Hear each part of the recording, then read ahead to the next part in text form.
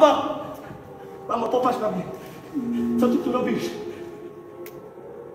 Po pierwsze miałem komfort, bo mo mogłem się przyjrzeć powieści z perspektywy e, autora, który przestał być autorem. To znaczy mm, zdekomponował swój tekst, co wzbudziło po pierwsze mój ogromny e, szacunek wobec Szczepana, że potraktował e, swoje dzieło z taką przyjemnością dzieciaka, który wchodzi do piaskownicy i rzuca granat. I to było bardzo fajne. To było bardzo fajne. A po drugie, kurczę, pierwszy raz miałem taką radochę, że Szczepan siedział na próbach i myśmy na, nad tym, co powstawało, e, wspólnie pracowali. I to było, to była dodatkowa przyjemność, bo nie dość, że zdekompletował swoją powieść i tam wyrzucił parę rzeczy, z tym zobaczycie, jak przyjdziecie na spektakl, nadzieję, że przyjdziecie, to po drugie jeszcze w trakcie myśmy przecież też dekompletowali to wszystko, co powstało e, e, w głowie Szczepana, e, kiedy pisał te adaptacje, no, po prostu powstała sztuka teatralna.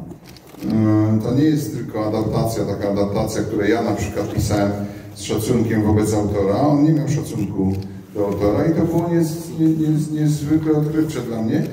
A, a potem to, co się działo jeszcze na próbach, było dla mnie i jest ciągle strasznie ważne i, i fajne, tak, przepraszam za, za ten kolokwializm. Ja już nie wiem, o czym jest ta historia, powiem szczerze. Przez, przez, tak się wczoraj zastanawiałem, oglądając to. Coś tam pogadaliśmy ch- chwilę i ze Szczepanem i dzisiaj z nim, ja nie wiem już, czy to jest o odrzuceniu, czy to jest o niewolniku, czy to jest o Śląsku. Pewnie o, o, wszystkim, o, o wszystkim po trosze. Natomiast przez... Ale o Śląsku chyba najmniej, wiesz? Tak? No, to jest po Śląsku, ale nie o Śląsku. To, To- mi, się, to mi się bardzo, bardzo podoba. Nie? To chyba fajne? Tak. Że, że, bo tak było w pewnym momencie, że myśmy tak zmierzali taką opowieść by- być może, która y, jest y, jakąś opowieścią o Śląsku, ale bardziej tak jakby się o odrzuceniu. No, Myślę, że tak szczerze, że to o nas. Pamiętam, jak szliśmy z matką do kościoła do Pilchowic.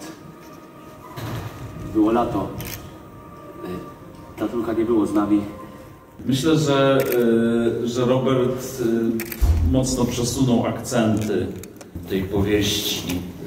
Ta, ta, ta, ta sztuka, która tam jakoś podąża za adaptacją, którą ja usiłowałem sklecić,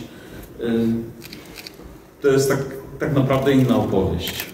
Tak naprawdę inna opowieść niż, niż ta powieść, korzystająca jakoś z jej motywów.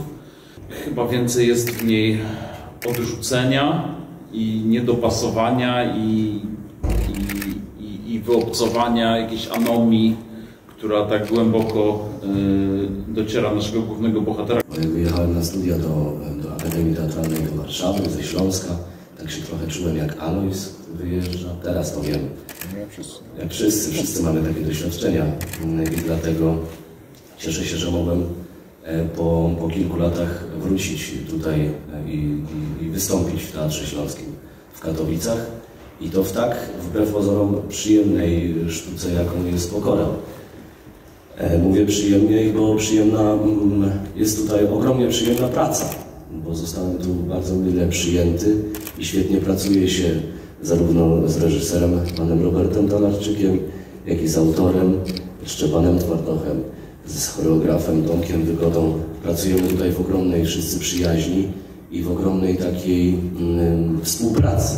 I to jest bardzo ważne, bo to też nie zawsze się zdarza, że na próbie ja mogę powiedzieć, słuchaj Szczepan, bo tam, wiesz co, ta scena, tyś to tak trochę napisał, ja bym, bo u mnie w domu to zaś było trochę tak, żeby tam tym, mogę się spróbować, ja, pan Robert tak samo, ja, spróbuj, spróbuj.